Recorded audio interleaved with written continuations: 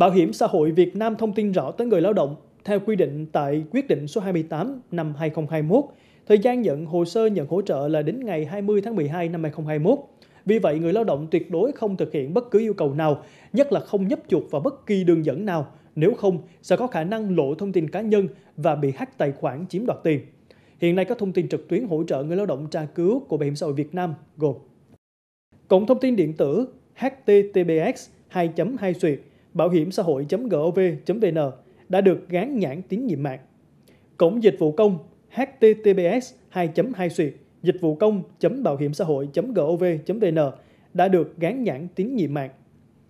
Ứng dụng VSSID bảo hiểm xã hội số địa chỉ thư điện tử thông báo a còng bảo hiểm xã hội.gov.vn nhắn tin qua tổng đài số 8079 người dùng dịch vụ sẽ trả phí dịch vụ tin nhắn cho nhà mạng. Tin nhắn brand name, thương hiệu của Bảo hiểm xã hội Việt Nam với tên Bảo hiểm xã hội Việt Nam.